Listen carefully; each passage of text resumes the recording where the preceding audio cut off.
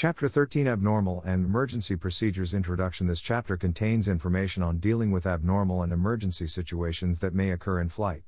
Aeronautical Decision Making, ADM, a systematic approach to determine the best course of action in response to a given set of circumstances, should always be used rather than making a quick decision without determining the best outcome. Most emergencies can be prevented by making the proper decisions.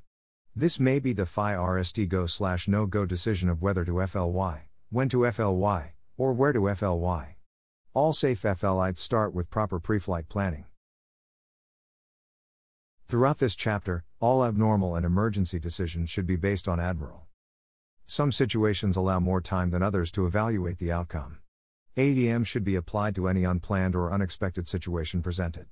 In addition to ADM, the key to any emergency situation, and or preventing an abnormal situation from progressing to a true emergency is a thorough familiarity with, and adherence to, the procedures developed by the manufacturer and contained in the Aircraft Flight Manual and or Pilot's Operating Handbook, AFM/PO.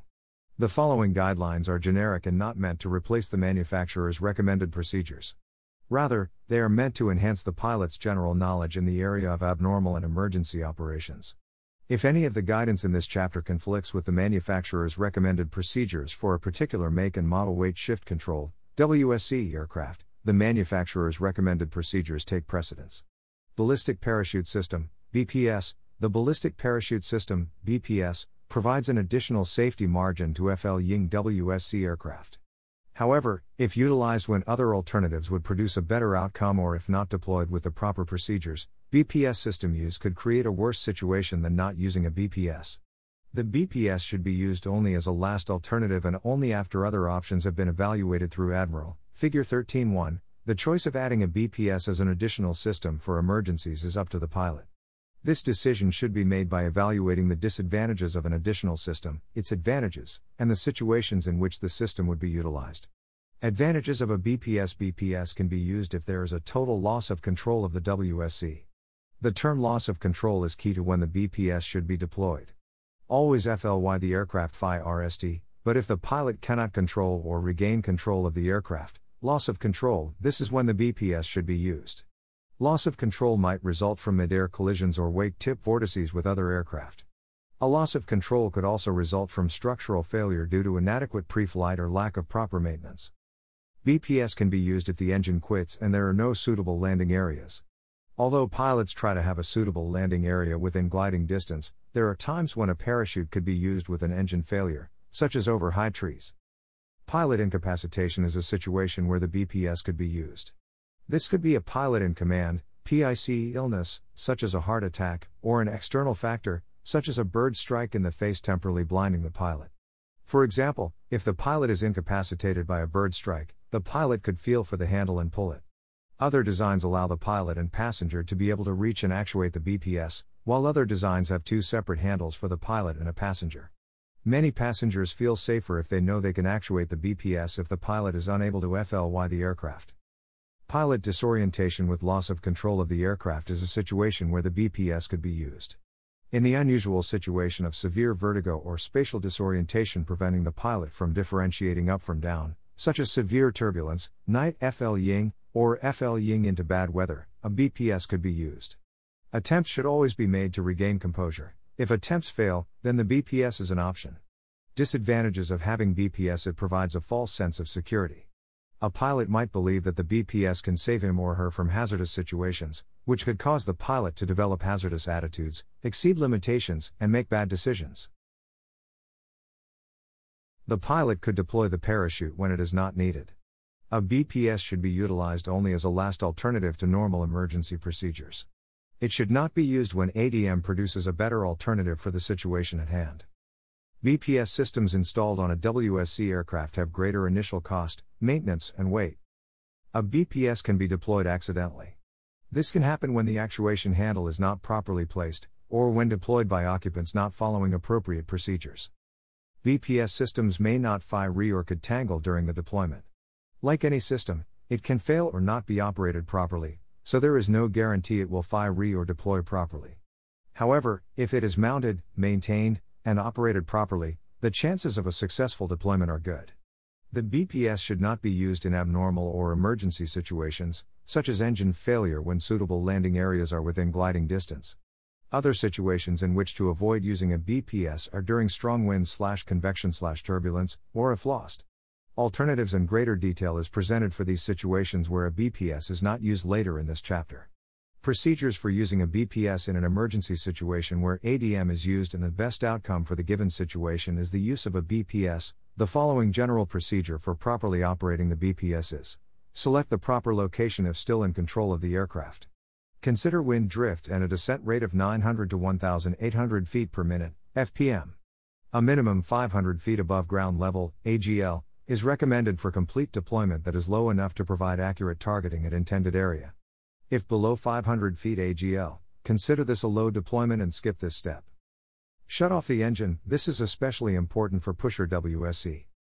Slow down and lift the wing on the side where the chute will deploy, a side deployment and above 500 feet AGL.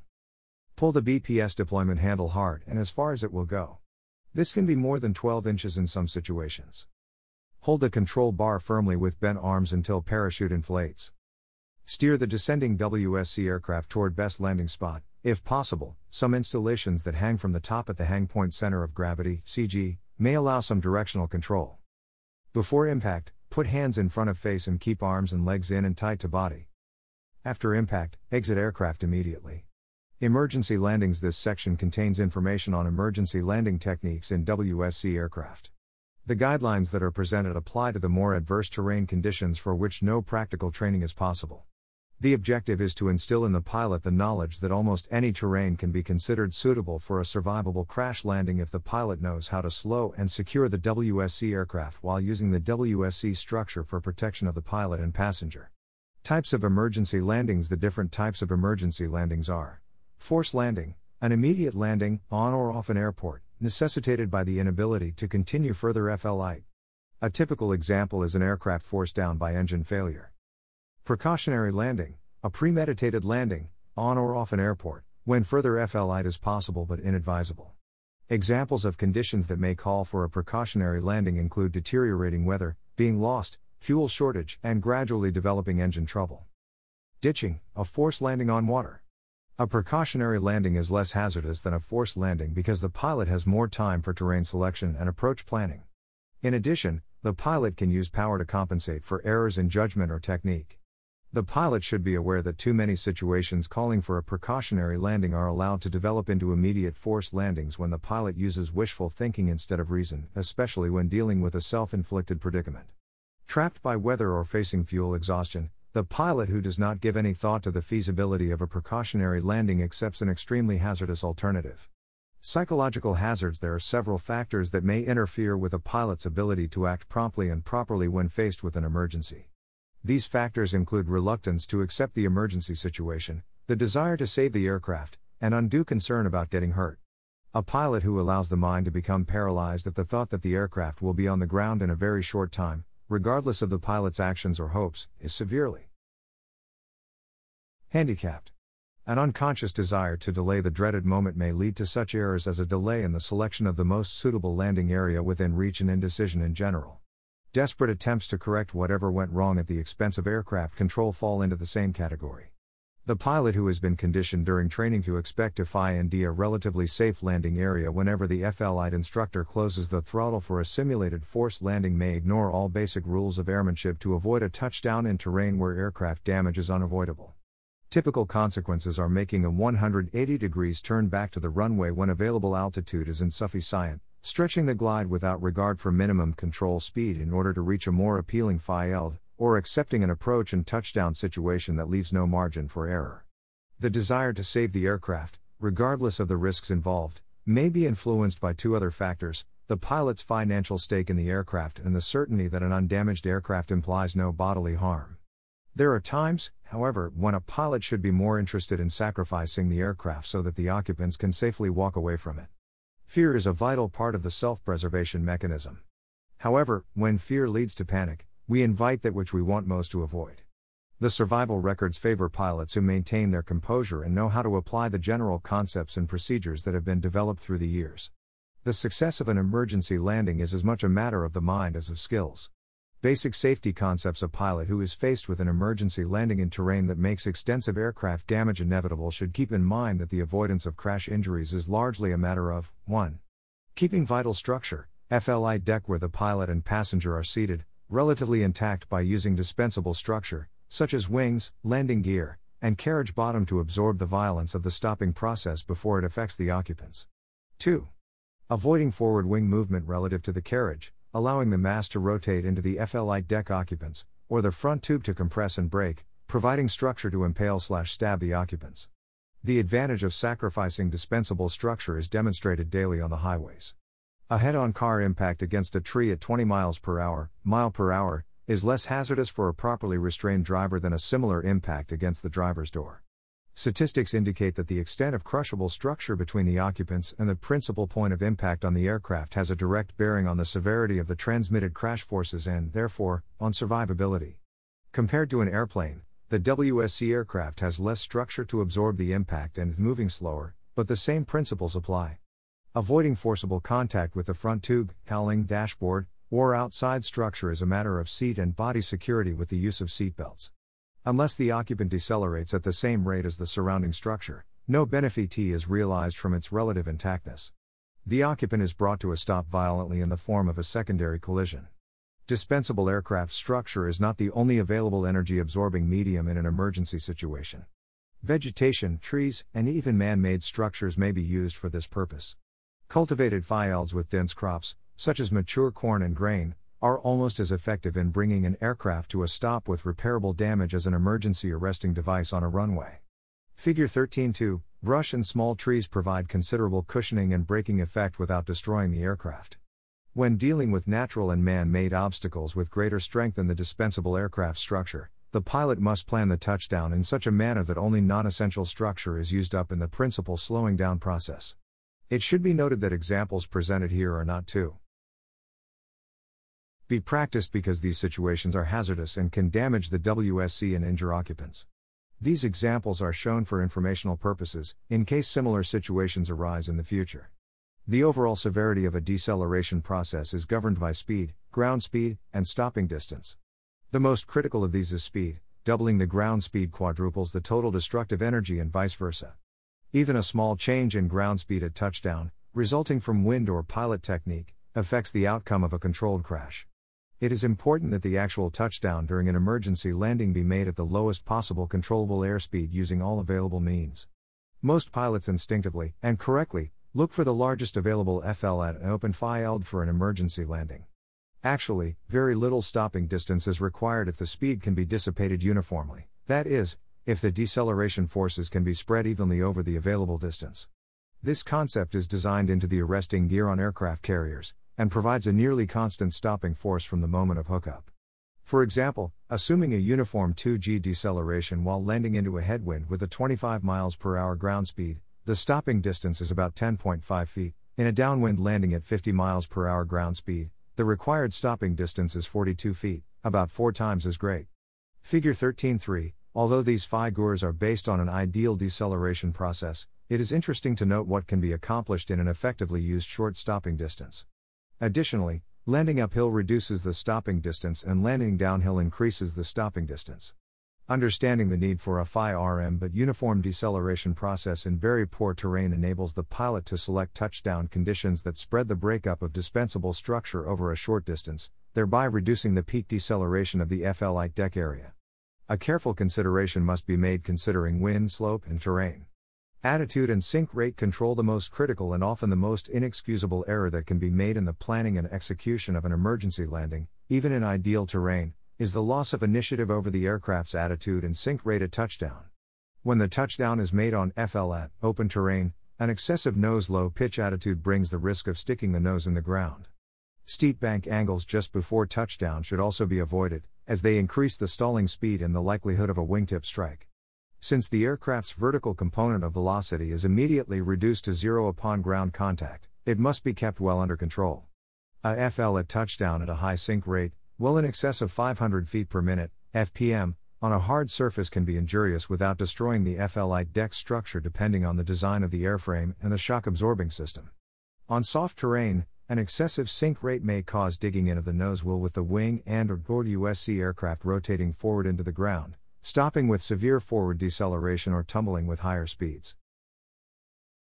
Terrain selection A pilot's choice of emergency landing sites is governed by the route selected during pre flight planning and height above the ground when the emergency occurs. The only time the pilot has a very limited choice is during low and slow FL ying or during takeoff if the landing approach is always within gliding distance of the runway. It should be understood that the amount of area for available landing sites increases at a rapid rate with increased altitude. Figure 13.4, as an example, a WSC aircraft with a 5 to 1 glide ratio FL Ying at 500 feet AGL has 500 feet multiplied by 5 A feet horizontal, or 2,500 feet, radius on the ground to select a suitable landing area. For example, use a half mile radius. The area of available landing spots is pi xr2, approximately 0.8 square miles. At 1000 feet AGL, this area would be 3.1 square miles. At 2000 feet AGL, this is about 12.5 square miles, and at 5000 AGL, this is almost 80 square miles. Additionally, FL Ying in a downwind direction provides more area to be covered while FL Ying upwind reduces the amount of area that can be covered while looking for a suitable landing area. If beyond gliding distance of a suitable open area, the pilot should judge the available terrain for its energy absorbing capability. If the emergency starts at a considerable height above the ground, the pilot should be more concerned about Phi RST selecting the desired general area than a specific C spot. Terrain appearances from altitude can be very misleading and considerable altitude may be lost before the best spot can be pinpointed. For this reason, the pilot should not hesitate to discard the original plan for one that is clearly better. However, as a general rule, the pilot should not change his or her mind more than once. Approach when the pilot has time to maneuver, the planning of the approach should be governed by three factors 1. Wind direction and velocity 2. Dimensions and slope of the chosen FIELD 3. Obstacles in the final approach path and the FIELD itself These three factors are seldom compatible. When compromises must be made, the pilot should aim for a wind slash obstacle slash terrain combination that permits a final approach with some margin for error in judgment or technique. A pilot who overestimates the gliding range may be tempted to stretch the glide. Across obstacles in the approach path. For this reason, it is sometimes better to plan the approach over an unobstructed area regardless of wind direction. Experience shows that a collision with obstacles at the end of a ground roll, or slide, is much less hazardous than striking an obstacle at FL Ying speed before the touchdown point is reached. Terrain type Since an emergency landing on suitable terrain resembles a situation with which the pilot should be familiar through training, only the more unusual situation is discussed. Confined areas The natural preference to set the aircraft down on the ground should not lead to the selection of an open spot between trees or obstacles where the ground cannot be reached. Once the intended touchdown point is reached, and the remaining open and unobstructed space is very limited, it may be better to force the aircraft down on the ground than to delay touchdown until it stalls, settles. An aircraft decelerates faster after it is on the ground than while airborne. A river or creek can be an inviting alternative in otherwise rugged terrain. The pilot should ensure that the water or creek bed can be reached without snagging the wings. The same concept applies to road landings with one additional reason for caution. Man made obstacles on either side of a road may not be visible until the final portion of the approach. When planning the approach across a road, it should be remembered that most highways and even rural dirt roads are paralleled by power or telephone lines. Only a sharp lookout for the supporting structures or poles may provide timely warning. If the only possible landing alternative is a small clearing and is not possible to land the WSC aircraft, the BPS should be deployed if equipped, as discussed earlier. Trees Although a tree landing is not an attractive prospect, the following general guidelines help to make the experience survivable.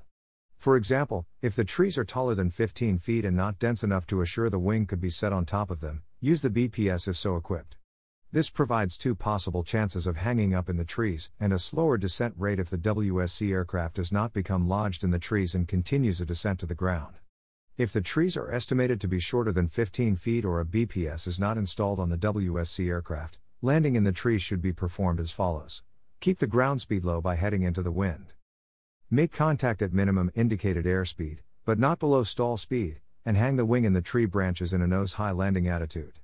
Involving the underside of the fuselage and both wings in the initial tree contact provides a more even and positive cushioning effect.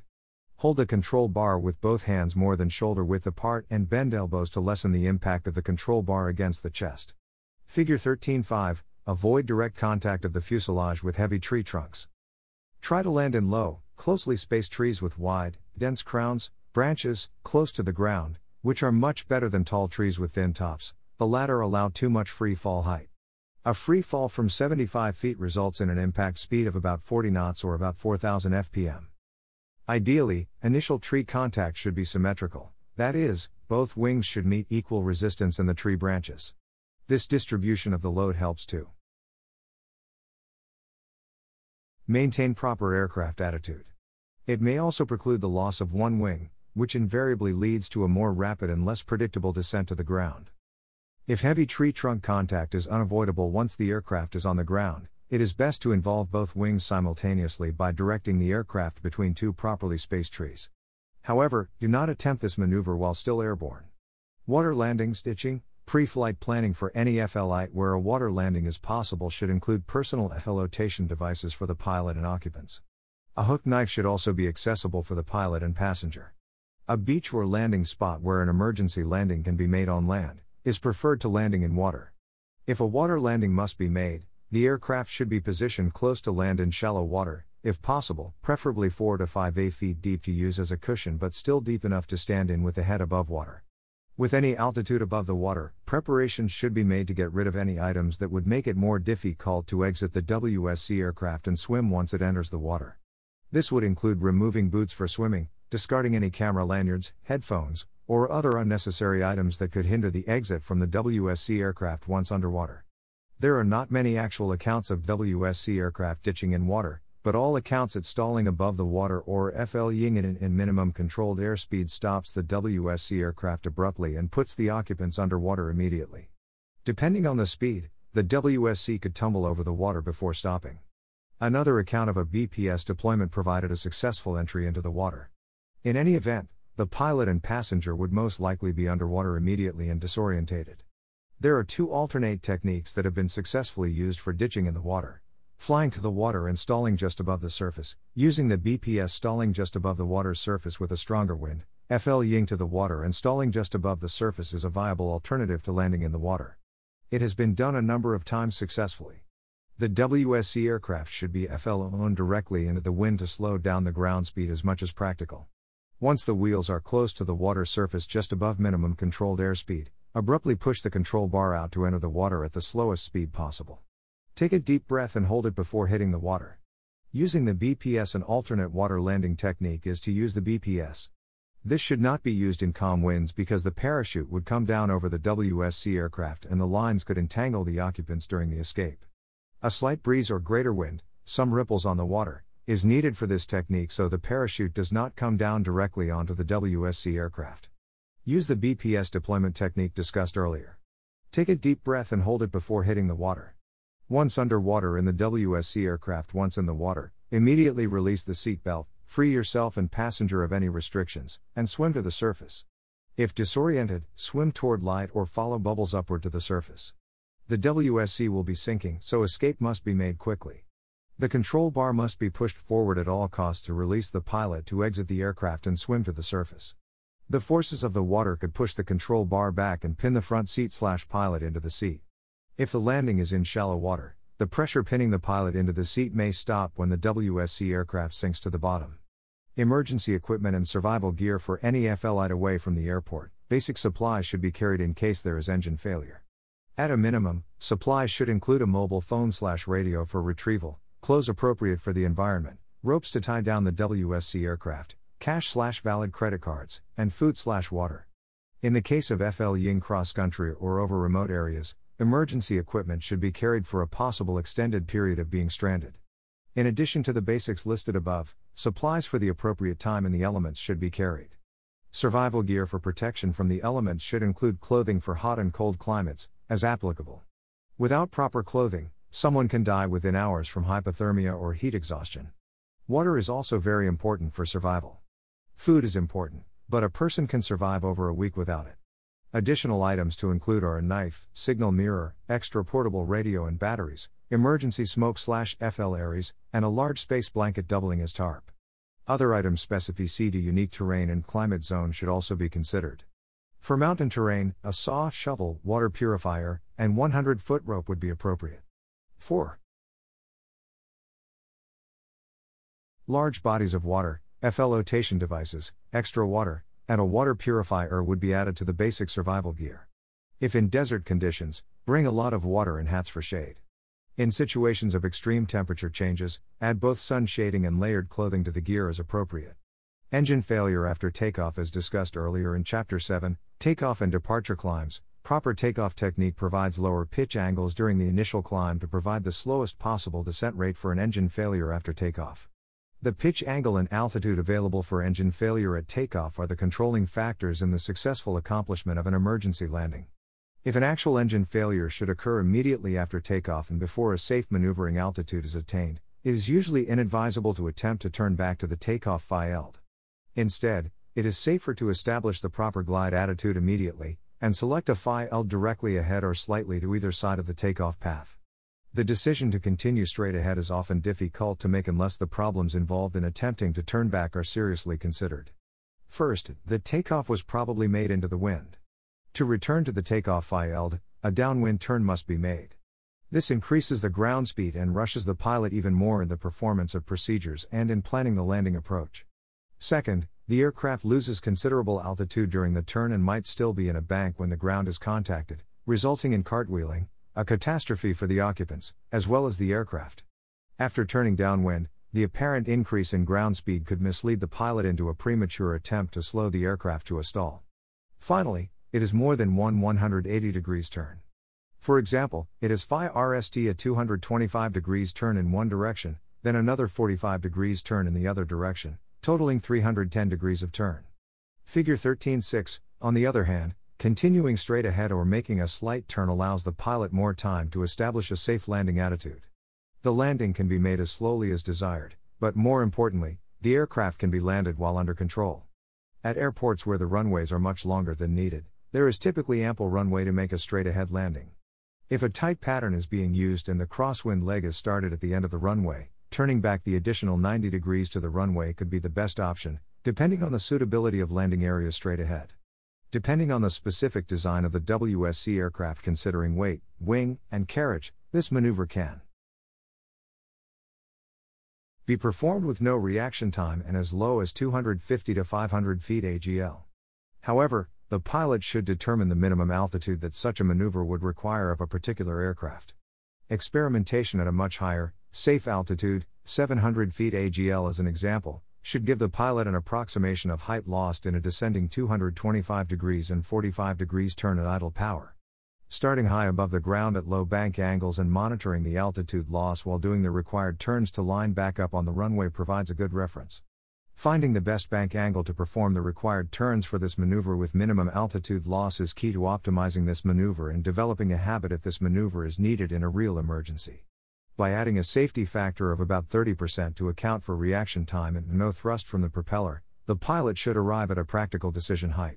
The ability to make these turns does not necessarily mean that the departure runway can be reached in a power off glide. This depends on the wind, the distance traveled during the climb, the height reached, and the glide distance of the aircraft without power. This is a highly advanced maneuver with turns close to the ground. This should be practiced well into the training program with the instructor. For example, consider an aircraft which has taken off and climbed to an altitude of 350 feet AGL when the engine fails. After a typical 4 second reaction time, the pilot pulls down the nose, maintains control of the aircraft, and elects to turn back to the runway, losing 50 feet. Figure 13.6, A to B, the pilot performs the 225 degrees turn and loses 300 feet. Figure 13.6, B to C, the pilot must glide back to the runway, losing another 50 feet. Figure 13.6, C to D, the pilot must turn another 45 degrees to head the aircraft toward the runway, losing another 50 feet. Figure 13.6, D to E, by this time the total change in direction is 310 degrees, the aircraft will have descended 450 feet, placing it 100 feet below the runway.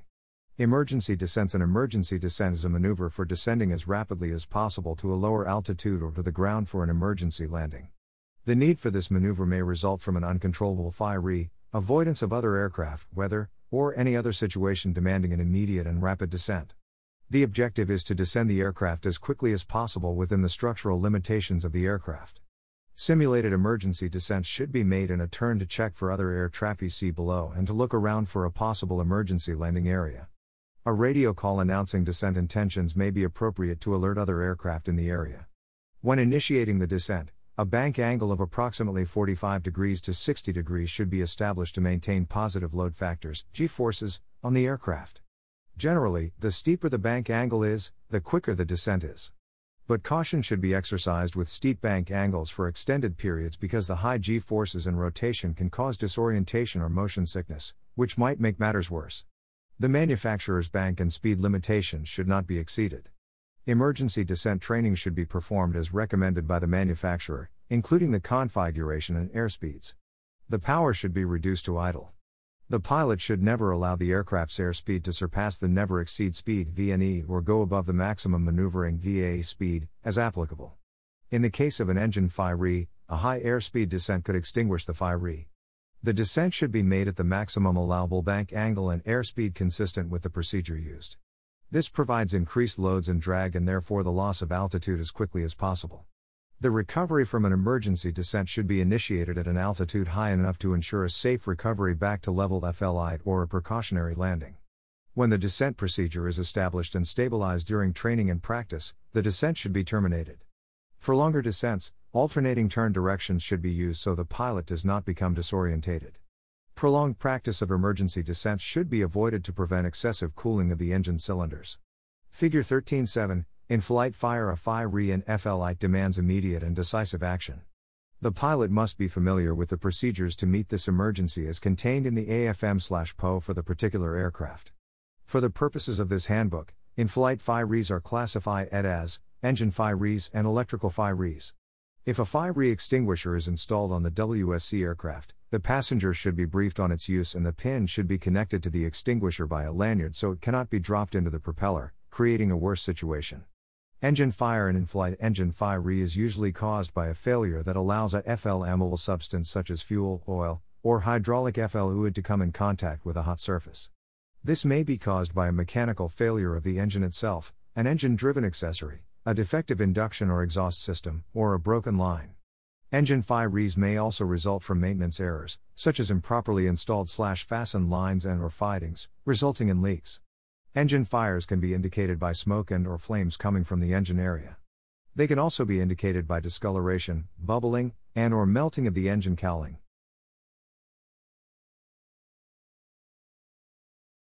Skin in cases where FL flames and or smoke are not visible to the pilot. By the time a pilot becomes aware of an in-flight engine fire, it usually is well developed. Unless the aircraft manufacturer directs otherwise in the AFM/PO, the FI FIRST step after discovering a FIRE is to shut off the fuel supply to the engine, if so equipped. The ignition switch should be left on in order to use up the fuel that remains in the fuel lines and components between the fuel selector slash shutoff valve and the engine, if equipped with an electric fuel pump. This procedure may starve the FIRE of fuel and cause the FIRE to die naturally. If the FL flames are snuffed out, no attempt should be made to restart the engine.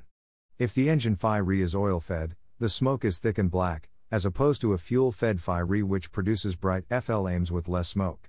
Some light aircraft emergency checklists direct the pilot to shut off the electrical master switch.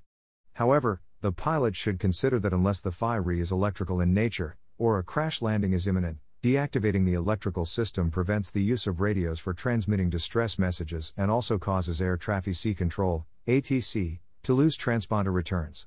The pilot must be familiar with the aircraft's emergency descent procedures and remember that. An engine fire on a WSC aircraft means the flames are going to the rear of the aircraft where minimum components are exposed. If the BPS is used, it would change the direction of the flames, possibly setting the wing and or fuselage on fire. The flames could also burn the parachute line, creating worse problems. The aircraft may be structurally damaged to the point that its controllability could be lost at any moment. The aircraft may still be on fire and susceptible to explosion. The aircraft is expendable, the only thing that matters is the safety of those on board. Electrical fires The initial indication of an electrical fire is usually a slight amount of smoke and a distinct odor of burning insulation, which may not be noticeable in a WSC open FLI deck. Once an electrical fire is detected, the pilot should attempt to identify the faulty circuit by checking circuit breakers, instruments, avionics, and lights. If the faulty circuit cannot be readily detected and isolated, and FL-ITE conditions permit, the battery master switch should be turned off to remove the possible source of the fire. However, any materials that have been ignited may continue to burn. If electrical power is absolutely essential for the FL-ITE, an attempt may be made to identify and isolate the faulty circuit by 1. Turning the electrical master switch off. 2. Turning all individual electrical switches off. 3. Turning the master switch back on. 4. Selecting electrical switches that were on before the fire indication one at a time, permitting a short time lapse after each switch is turned on to check for signs of odor smoke or sparks. This procedure, however, has the effect of recreating the original problem. The most prudent course of action is to land as soon as possible. The electrical fire could expand into a larger fire in the carriage. A fire in the cabin presents the pilot with two immediate demands attacking the fire and getting the aircraft safely on the ground as quickly as possible. System malfunctions electrical system The loss of electrical power can deprive the pilot of communications and navigation systems, but for day slash VFR conditions this is not a life-threatening situation because most engines ignition systems are on a separate electrical system and not dependent on the battery for keeping the engine running. However, losing communications does present some challenges especially if operating at a controlled tower airport in which procedures in the Airman's Information Manual, AIM, would be followed. Pitot-static system The source of the pressure for operating the airspeed indicator, the vertical speed indicator, and the altimeter is the pitot-static system. Most WSC aircraft have pressure for the airspeed indicator. If this becomes plugged, the airspeed indicator may not read properly. If it is suspected that the airspeed indicator is not reading properly, use the feel of the aircraft and the trim position to determine speed. It is perfectly safe to FLY a WSC aircraft without an airspeed indicator if the pilot has developed a feel of the aircraft since the trim position speed is known and all other speeds can be determined based on the feel of the air and the pressure on the control bar. Altitude and vertical speed utilize static pressure. Because there is typically no static line connecting these, they operate independently. Therefore, if one fails or becomes plugged, the other can act as a reference. For example, if the altimeter fails for any reason, the vertical speed indicator would provide the pilot with information on whether the aircraft was climbing, level, or descending. The Global Positioning System, GPS, if equipped, could also provide altitude readings. If the vertical speed indicator failed, the altimeter could provide information on whether the aircraft was climbing, level, or descending by looking at the altitude reading over time. Landing gear malfunction If there is any landing gear malfunction before or during takeoff, the FL-ITE or takeoff should be aborted and the malfunction fixed before attempting another takeoff. However, if a malfunction takes place during or after takeoff in which the landing gear is not completely functional for landing, the situation should be evaluated using aeronautical decision making, ADM, to make the best choice based on the outcome of the situation. If a tire falls off, a known FL out of the tire is evident, or a landing gear strut has shaken loose or become damaged, precautionary measures must be taken to minimize the results from landing with a defective landing gear. Fly to a smooth runway where the WSC aircraft can skid and not stop abruptly and tumble. Inform the local ATC Unicom or multicom frequency that there is a mayday in order to obtain immediate help for a crash landing. There is no hurry to land, so use ADM to survey the situation and make the best decision on where and how to land. Find a location that has medical support, a smooth runway that minimizes abrupt stop slash tumbling, and land into the wind for the best outcome. Attempt to make a normal approach into the wind with the lowest possible speed to touchdown. Inadvertent propeller strike A propeller strike in a pusher WSC aircraft is more dangerous than in any other aircraft. If an object or the propeller is FL hung up into the wing trailing edge, a structural failure could occur. This situation should not be underestimated or ignored. Procedures should be implemented and followed to avoid propeller strikes from articles FL ying out of the FL-ITE deck. Passengers sitting in the back are the greatest risk to propeller strikes. A comprehensive pre flight brief with proper FL-ITE deck management procedures should reveal any open pockets or items that could dislodge an FLY into the propeller. The passenger in the back should be instructed not to take off gloves, helmet, or glasses, or pull out a camera slash mobile phone without a lanyard. However, the passenger in the rear seat cannot be monitored completely. It is possible that items could FLY out of the FL-ITE deck and go through the propeller, presenting a serious situation. If a bird strike occurs or anything else hits the propeller, reduce throttle immediately and evaluate the situation. The severity of the vibration is the key element to determining what to do. If the vibration is severe, shut off the engine and make an emergency landing. Minor vibration can be tolerated, but the risk of FL ying with a damaged propeller, which could dislodge and hit the sail, should be minimized. It is best to shut down the engine and perform an emergency landing. Stuck or runaway throttle throttles can stick above idle or unexpectedly increase, which is called a runaway throttle. If on the ground, a runaway throttle can be disastrous if not anticipated and mitigated. A pilot, an instructor, if teaching, should always have access to the ignition system in order to shut it off immediately in the event of a throttle stuck above idle or a runaway throttle. A runaway throttle can be caused by the pilot or student pushing on the throttle pedal during taxi or startup, thinking it is the right brake, as in an airplane. Setting the cruise throttle to full open rather than full close during startup also causes a runaway throttle. On startup, the checklists must be followed, including cruise throttle closed, foot off of foot throttle, brake on, propeller cleared, etc. The PIC must have control of the ignition to shut it off immediately during startup and taxi. A runaway or stuck throttle during FLI can be handled by climbing or FL ying to a suitable location where the engine can be shut off and a safe engine off landing can be made. Abnormal engine instrument indications The AFM PO for the Specific aircraft contains information that should be followed in the event of any abnormal engine instrument indications. The table in Figure 13.8 offers generic information on some of the more commonly experienced in flight abnormal engine instrument indications, their possible causes, and corrective actions. It is important to know that when an engine temperature probe fails, it usually reads an unusually low value 0 or does not register. This should be taken into account when evaluating the situation with engine instruments.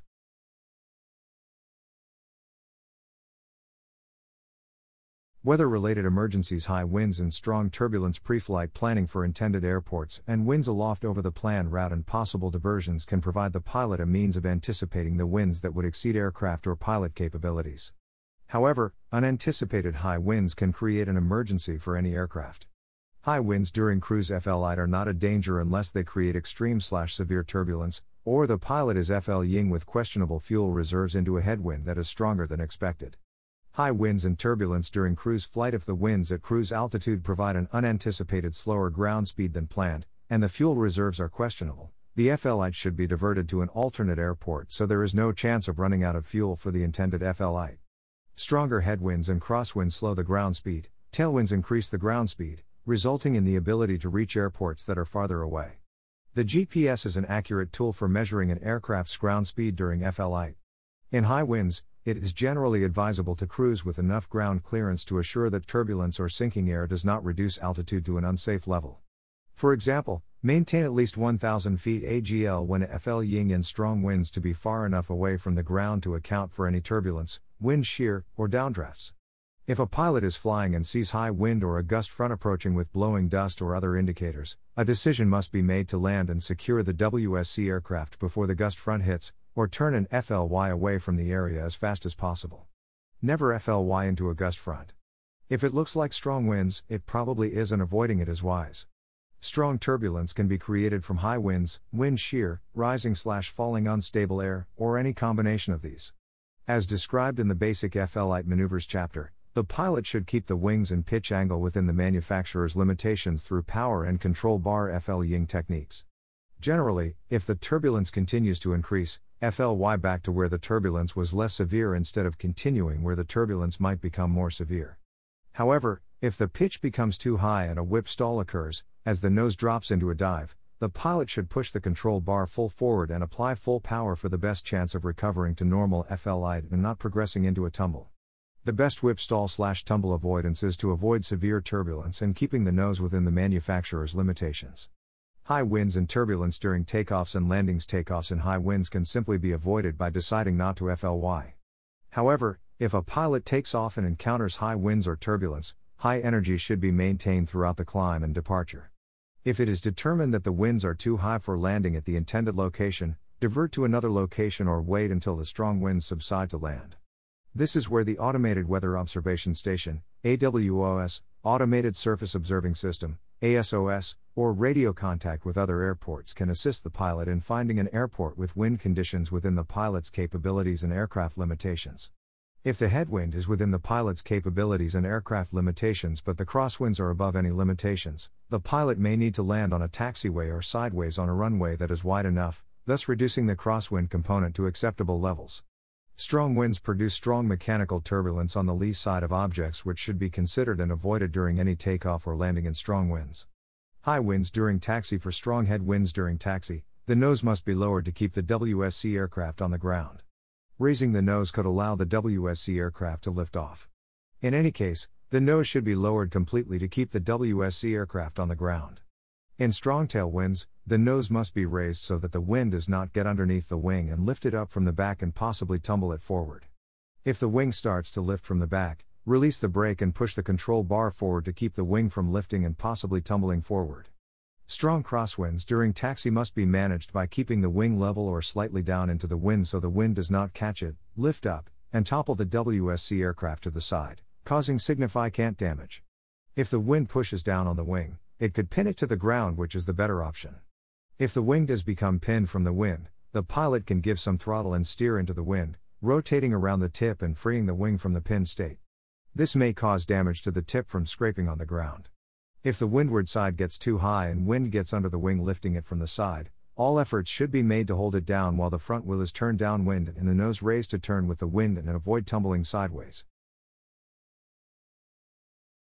Taxiing to a location that is on the leeward side of a structure into the wind shadow provides the best option for exiting the WSC aircraft in high winds. When available, seek assistance to exit in or secure the WSC. If no wind shadow is available, the pilot can turn the WSC aircraft into crosswind and pin the wing to exit. Inadvertent flight into instrument meteorological conditions, IMC, proper FLIght planning using available weather resources should allow a pilot to avoid FLYing when the probability of low visibility is high. It is expected that WSC pilots exercise good judgment and not attempt to FLY when the visibility is questionable.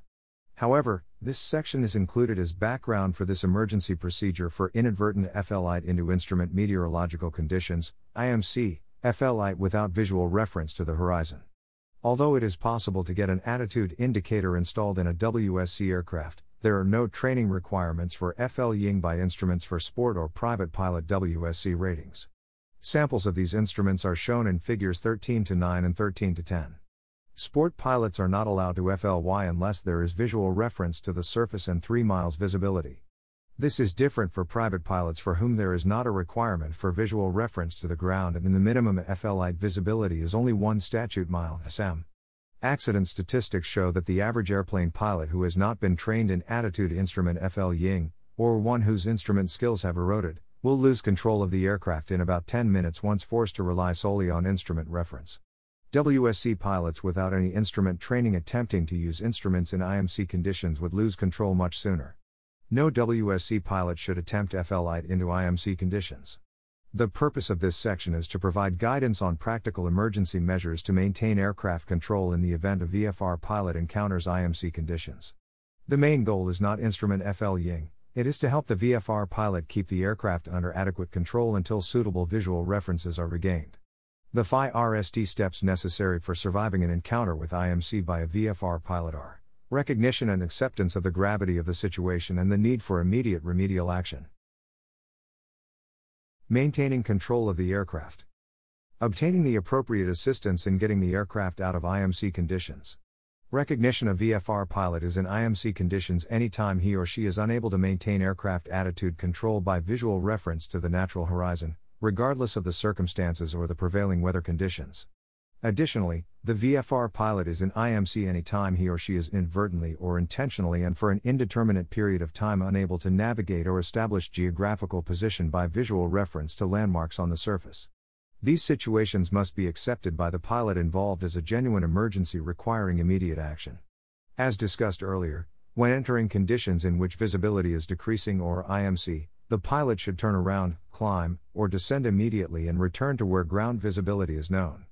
Do not continue assuming that conditions will clear and visibility will be regained. Maintaining aircraft control once the pilot recognizes and accepts the situation, he or she must understand that the only way to control the aircraft safely is by using and trusting the FLIght instruments. Attempts to control the aircraft partially by reference to FLIght instruments while searching outside the FLIght deck for visual confirmation of the information provided by those instruments results in inadequate aircraft control. This may be followed by spatial disorientation and complete loss of control. The most important point to be stressed is that the pilot must not panic. Recognize the situation and take immediate action. The task at hand may seem overwhelming, and the situation may be compounded by extreme apprehension. The pilot must make a conscious effort to relax and understand that the only concern at this point is to FLY toward known visibility. If climbing into a cloud, reduce throttle and descend. If descending into a cloud, increase throttle and climb out of the cloud. If visibility is suddenly lost, for example, FL ying into a cloud, turn 180 degrees and FLY toward known visibility. The pilot should remember that a person cannot feel control pressures with a tight grip on the controls. Relaxing and learning to control with the eyes and the brain instead of muscles usually takes considerable conscious effort. The pilot must believe that the FLI instruments show the aircraft's pitch attitude and direction regardless of what the natural senses tell. The vestibular sense, motion sensing by the inner ear, can confuse the pilot. Because of inertia, the sensory areas of the inner ear cannot detect slight changes in aircraft attitude nor can they accurately sense attitude changes which occur at a uniform rate over a period of time. On the other hand, false sensations are often generated, leading the pilot to believe the pitch attitude or direction attitude of the aircraft has changed when, in fact, it has not. These false sensations result in the pilot experiencing spatial disorientation. Attitude control attitude is defined as the position of an aircraft as determined by the relationship of its axis and a reference, usually the Earth's horizon. For WSC, the pitch and the roll are the relevant attitudes. Most aircraft are generally, by design, inherently stable platforms and, except in turbulent air, maintain approximately straight and level FLI if properly trimmed and left alone. They are designed to maintain a state of equilibrium in pitch, roll, and yaw. The pilot must be aware, however, that a change about one axis affects the other axes. The WSC aircraft is stable in the yaw and pitch axes, but less stable in the roll axis. The yaw and pitch axes of the WSC are easy to control, but the roll axis is the challenge for WSC aircraft control in IMC. The key to emergency aircraft attitude and directional control, therefore, is to fly at the normal trim speed. To climb, increase throttle, to descend, decrease throttle to FLY level, FLY at the throttle setting that provides level FLI. The vertical speed indicator or altimeter provides information regarding pitch attitude. Resist the tendency to overcontrol the aircraft. Fly with fingertip control. No attitude changes should be made unless the FLI instruments indicate a definite need for a change. Make all attitude changes smooth and small, yet with positive pressure. The primary instrument for roll control is the attitude indicator if so equipped. Figures 13 to 9 and 13 to 10, for aircraft not equipped with an attitude indicator, a magnetic compass, figure 1311, or a GPS, figure 1312, are the instruments that can be used for roll control. The compass stays stationary and the WSC aircraft rotates around the compass dial. A pilot is FL Ying wings level if the compass heading is not changing. If the compass is changing direction, the aircraft is banked into a turn. Similarly, the GPS provides ground track. If FL Ying wings level, the GPS ground track is steady. If the GPS ground track is changing, the aircraft is in a bank and turning. Turns turns are perhaps the most potentially dangerous maneuver for the untrained instrument pilot for two reasons. The normal tendency of the pilot to overcontrol, leading to steep banks. The inability of the pilot to cope with the instability resulting from the turn. As an example, a 180 degrees turn would be the most likely turn to exit a cloud and return to where there is visibility with the surface. The direction the turn started should be noted in order to determine the direction needed to exit the IMC conditions. For example, if heading north when FL Ying into the cloud, turn 180 degrees and head south to exit the cloud. When a turn must be made, the pilot should anticipate and cope with the relative instability of the roll axis. The smallest practical bank angle should be used, in any case no more than 10 degrees bank angle. Figure 1313 a shallow bank takes very little vertical lift from the wings, resulting in little if any deviation in altitude, and the WSC aircraft can continue to be FL on at trim speed. It may be helpful to turn 90 degrees and then reduce the bank and return to level FL height.